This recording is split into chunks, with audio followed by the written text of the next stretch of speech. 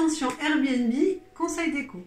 J'ai beaucoup regardé d'annonces lorsque je recherchais des hébergements courte durée sur le site Airbnb et j'ai souvent déchanté en regardant l'intérieur des hébergements. Dans cette vidéo, je voudrais vous présenter 5 conseils déco pour attirer plus de clients dans votre hébergement, mais c'est valable également pour vous qui aménagez pour la première fois et qui ne savez pas trop comment décorer votre intérieur. Pour vous qui êtes hôte Airbnb, votre hébergement c'est votre business, donc vous devez faire en sorte qu'il plaise à un maximum de personnes et pas forcément à vous. On en parle tout de suite, juste après le générique.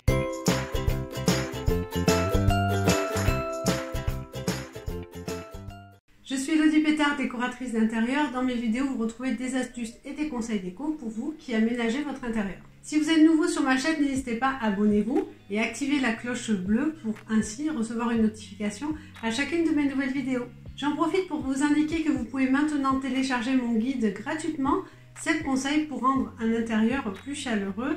Je vous mets le lien dans la description. Vous le retrouverez également sur ma bannière YouTube. La déco va être un atout majeur pour attirer l'œil et faire venir des clients dans votre hébergement. Au-delà de votre localisation et même des super services que vous pouvez leur donner comme la piscine ou un jacuzzi, ils vont choisir votre hébergement en regardant les photos de votre intérieur. Et si vous négligez cela, vous réduisez nettement le nombre de clients potentiels puisque d'un clic, ils vont aller consulter l'annonce suivante qui correspondrait plus à leurs envies. Et c'est vraiment dommage, hein, vous trouvez pas?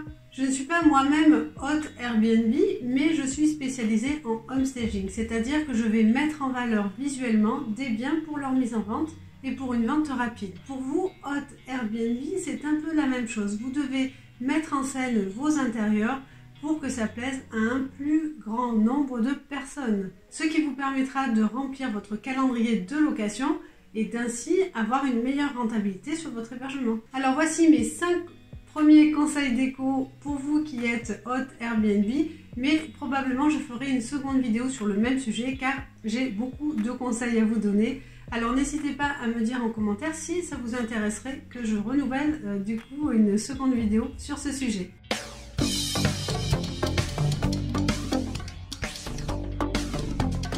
Évitez l'utilisation de couleurs trop flashy ou trop colorées. Moi j'adore la couleur, vous sans doute probablement. Mais euh, le souci avec les couleurs, c'est que d'une année sur l'autre en fait, les tendances, les modes changent. Il y a Pantone qui euh, attribue tous les ans une nouvelle couleur, couleur de l'année.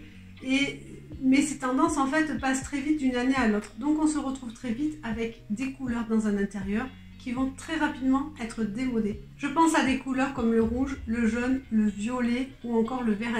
Pour un hébergement Airbnb, optez pour la simplicité, c'est-à-dire prenez plutôt des couleurs qui vont être ce qu'on appelle des couleurs neutres, qui sont des couleurs en fait qui ne vont pas se démoder dans le temps, qui vont rester intemporelles. Alors mixez le blanc avec les différentes nuances de beige, les différentes nuances de marron, de gris ou de bleu foncé. Vous pourrez ensuite rehausser l'ensemble avec quelques touches ou accessoires déco un peu plus colorés, mais pour vous ce sera plus facile de changer ces accessoires au bout de 4 ou 5 ans plutôt que de changer euh, la peinture ou des meubles que vous aurez achetés dans ces tonalités de couleur neutre.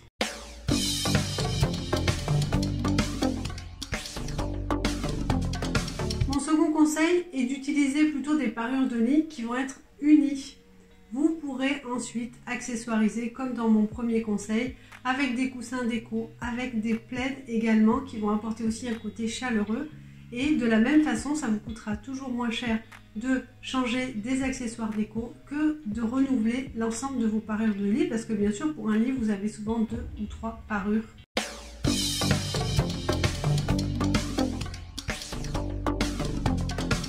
troisième conseil déco, c'est arrêter d'utiliser les nappes en plastique sur les tables euh, de salle à manger et d'extérieur. Déjà, je suis sûre que vous avez des magnifiques tables en dessous. Et c'est dommage de ne pas les montrer à vos clients potentiels. Les motifs des toiles plastifiées sont rarement euh, tendance et font assez bon marché. Donc ça donne une note assez négative de la perception de votre bien quand le client potentiel regarde votre hébergement.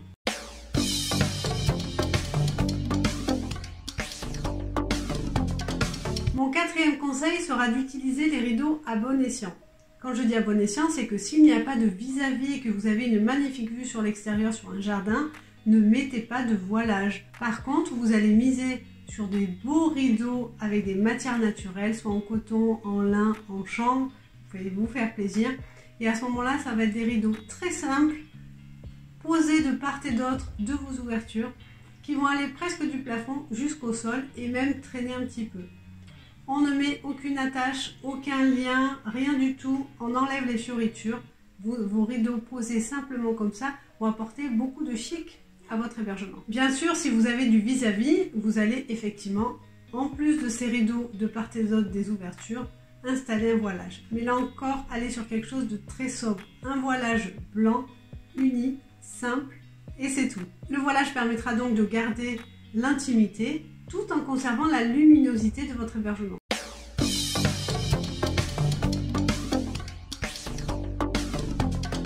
Mon cinquième conseil sera d'investir dans du mobilier d'extérieur de qualité. On bannit les tables et les chaises en plastique blanches ou vertes ou grises. Il y a les trois couleurs, je crois. Vos clients attendent du mobilier d'extérieur de qualité.